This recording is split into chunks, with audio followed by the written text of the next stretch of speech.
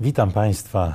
Spróbujmy jeszcze pozostać przy temacie tak ważnym, jak szukanie odpowiedzi na pytanie, kim jest człowiek.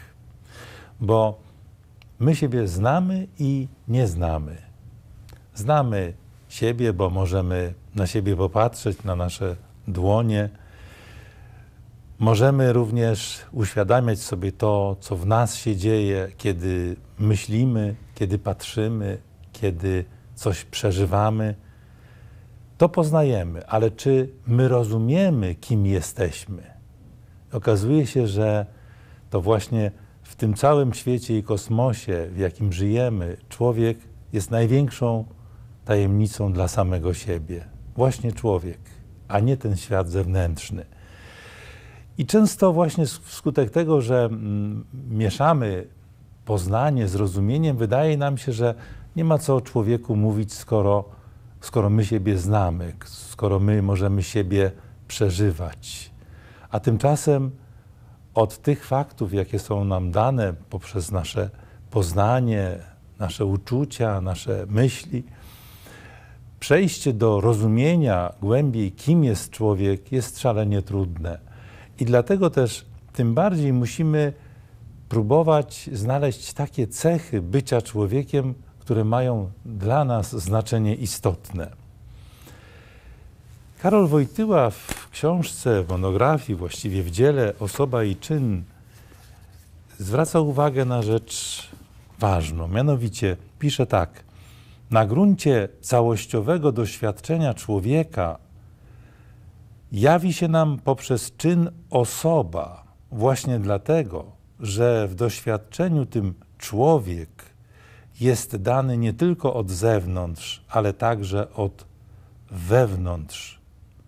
Skoro dany jest nie tylko jako człowiek, podmiot, ale także w całej doświadczalnej podmiotowości jako ja, wobec tego otwiera się przed nami możliwość takiej interpretacji człowieka jako przedmiotu naszego doświadczenia, która równocześnie we właściwej mierze odtworzy podmiotowość człowieka.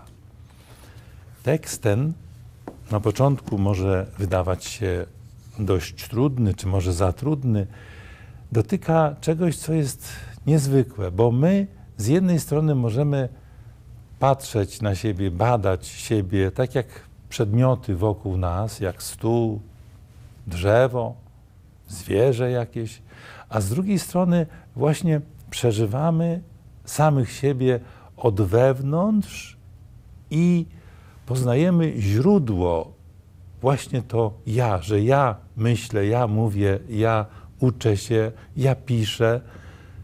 To jest coś niespotykanego, że my mamy właśnie takie doświadczenie i możemy mieć takie doświadczenie samych siebie od zewnątrz i od wewnątrz.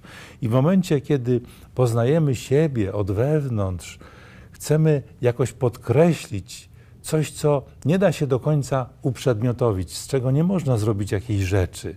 I wtedy mówimy, że to jest podmiot. Podmiot, i żeby zaznaczyć tę specyficzną rangę bycia podmiotem, mówimy, jesteśmy osobami. I jeszcze raz wracam do programu szkoły średniej.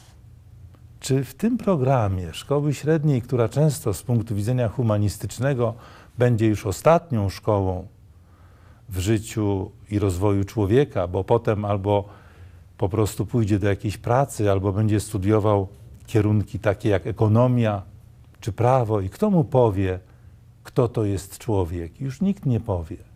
I dlatego ważne jest, żeby w jakiś sposób włączyć do programu edukacji na różnych stopniach tę dziedzinę kultury i poznania naukowego, które pozwalają nam pokazać, na czym to polega, że jesteśmy kimś, a nie tylko czymś. Co to znaczy być osobą, a nie przedmiotem.